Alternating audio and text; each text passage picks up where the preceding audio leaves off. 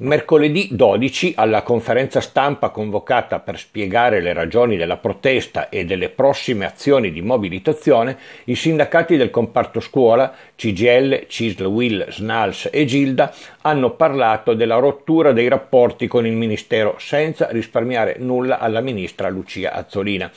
Il nodo principale resta quello dei concorsi, in quanto il Ministero ha accolto ben poche delle richieste sindacali e insiste per prove selettive, mentre i sindacati chiedono che si tenga conto del fatto che gran parte dei precari in attesa del ruolo sono docenti che lavorano da anni, magari anche con incarichi organizzativi e didattici di una certa importanza molte le accuse fatte anche con toni decisamente forti. Il segretario nazionale della Will Scuola, Pino Turi, ha parlato addirittura di bullismo ministeriale. La Azzolina fa la forte con i deboli. Ci ha sbattuto la porta in faccia e non è questo il modo di affrontare il confronto con le parti sociali. La segretaria della CISL Scuola Maddalena Gissi ha detto che da parte della ministra non c'è alcuna volontà di governare con una politica partecipativa.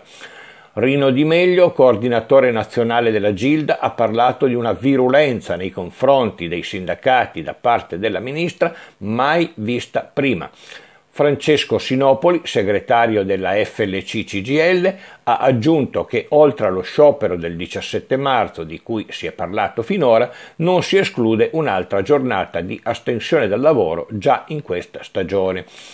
Per la verità, nella mattinata del 13 febbraio lo sciopero del 17 non risulta ancora ufficialmente proclamato, ma d'altronde già nel corso dell'incontro si è parlato di un possibile anticipo della data, perché i bandi sono in questi giorni già all'esame del Consiglio Superiore della Pubblica Istruzione. In ogni caso, sottolineano i cinque sindacati, lo sciopero sarà della scuola intera per i precari e tutti potranno aderire. E così, nell'attesa che i cinque sindacati principali decidano il da farsi, il sindacato di base Unicobas ha depositato presso la commissione di garanzia la comunicazione per la proclamazione di uno sciopero per il 17 marzo.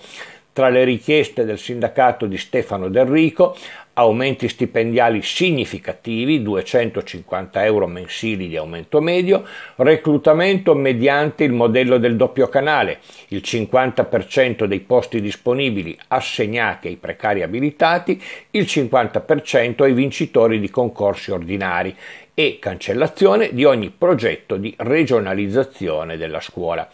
Venerdì 14, per intanto, ci sarà una prima prova tecnica con uno sciopero indetto da alcune sigle del sindacalismo di base, tra cui CUB, SGB e USI. Ovviamente su questo tema noi continueremo a tenervi informati, quindi seguiteci su questo canale, seguiteci anche sul portale eh, della nostra testata www.tecnicadellascuola.it, soprattutto scriveteci, mandateci i vostri commenti, le vostre osservazioni, le vostre riflessioni, ne daremo conto come sempre.